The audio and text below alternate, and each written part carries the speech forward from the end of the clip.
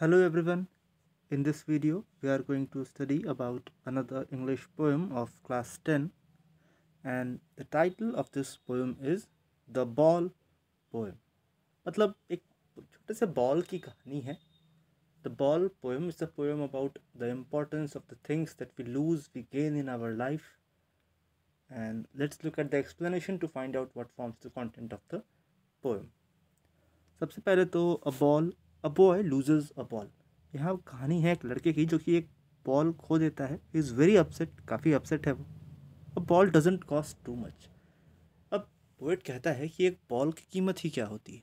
It doesn't cost much nor is it difficult to buy another ball लेकिन दूसरे ball ना कि सिर्फ़ एक बॉल की कीमत कम होती है, बल्कि दूसरे बॉल को ख़रीदने में कौन सी परेशानी? कोई परेशानी नहीं।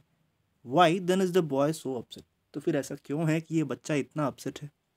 Read the poem to see what the poet thinks has been lost तो आइए पढ़ते हैं इस पोएम को ताकि हम ये देखें कि पोएट को क्या लगता है कि उसने, उस बच्चे ने क्या खोया है and what the boy has to learn from the experience of losing something और उस बच्चे को इस खोने से कौन सा एक्सपीरियंस सीखना है?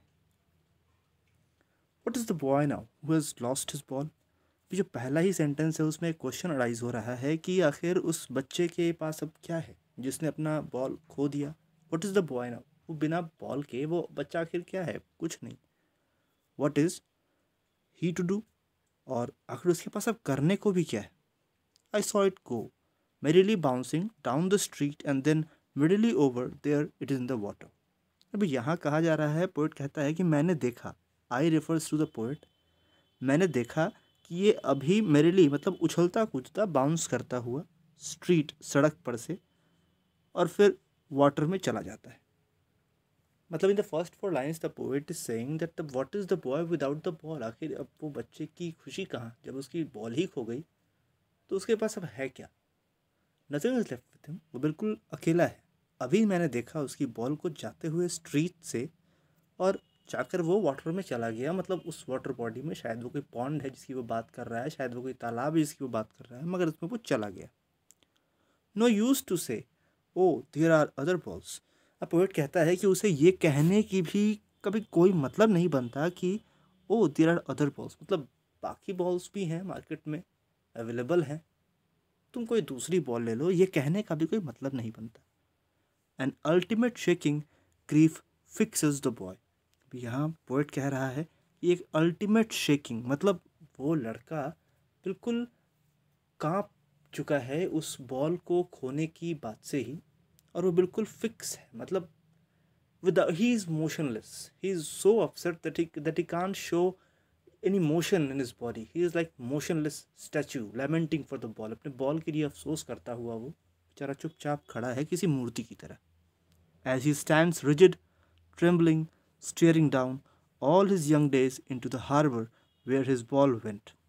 Poet यहाँ पे कह रहे हैं कि वो ऐसे खड़ा है, बिल्कुल स्थिर रिजिड कांपता हुआ, घूरता हुआ, जैसे मानो कि वो as a all his young days जैसे कि वो उस हार्बर पे खड़े खड़े अपने उन यंग डेज़ के बारे में सोच रहा है कि जब वो इस बॉल से खेला करता और कैसे इस बॉल के साथ उसने अपना बचपन बिताया है वो अपने गुजरे हुए समय को उस बॉल के साथ जाते हुए रिलेट कर रहा है। Further it says I would not intrude on him poet कहता है कि मैं उसे उसके इस एक्सपीरियंस में कोई दखल अंदाजी नहीं करूँगा। इंट्रूड मीन्स दखल देना इंटरप्ट करना। तो वो कहता है कि I would not intrude on him a dime ten cents another ball is worthless कहता है कि दस पैसों का एक बॉल ही तो लगेगा। इज़ वर्थलेस की कोई कीमत ही नहीं है। Now he senses first responsibility in a world of possessions poet कहता है कि आज वो इस मटेरियल वर्ल्ड में, इस ऐसी दुनिया में जो कि मटेरियल चीज़ों के पीछे भागता है, दौड़ता है, वहाँ वो अपनी फ़र्स्ट रिस्पॉन्सिबिलिटी सीखेगा। उसे अपनी फ़र्स्ट रिस्पॉन्सिबिलिटी मालूम पड़ेगी। That is of caring and carefulness आज शायद उसे मालूम पड़ेगा कि अगर उसने ध्यान से ध्यान रखा होता अपनी बॉल का तो शायद आज वो चीज़ उसके पास हमेशा के लिए होती है। This is the lesson that we all need to learn कि अगर हम आज अपनी चीज़ों पर ध्यान देंगे तो कल हमें उन चीज़ों के लिए अफसोस करने की ज़रूरत नहीं होगी। People will take balls balls will be all will be lost always little boy and no one buys a ball back money is external he is learning well behind his desperate eyes the epistemology of loss. How to stand up. Knowing what every man must one day know and most know many days how to stand up. अभी वो यहाँ कह रहा है कि people will take balls लोग गेंदे खरीदेंगे और ये हमेशा ही खोई जाती रहेंगी। छोटे बच्चे को भी ये समझना पड़ेगा। और छोटे बच्चे को बोल रहा है कि इसमें कोई बड़ी बात नहीं। गेंदे खरीदी जाती हैं, खोई जाती हैं। And no one buys a ball back कोई भी बॉल खरीदता नहीं दोबारा। No one buys a ball back मतलब कोई भी उसे बॉल खरीद कर दोबारा देगा नहीं। मनी इज़ एक्सटर्नल मनी तो सिर्फ़ दिखावा है। मनी इज़ एक्सटर्नल ये तो सिर्फ़ बाहरी चीज़ है। He is learning well behind his desperate eyes वो सीख रहा है अपनी उन ललचाई आँखों से।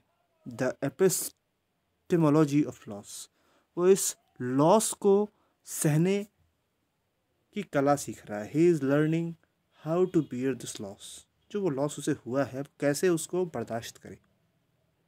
हाउ टू स्टैंड अप वो सीख रहा है कि कैसे डट कर मुकाबला किया जाए।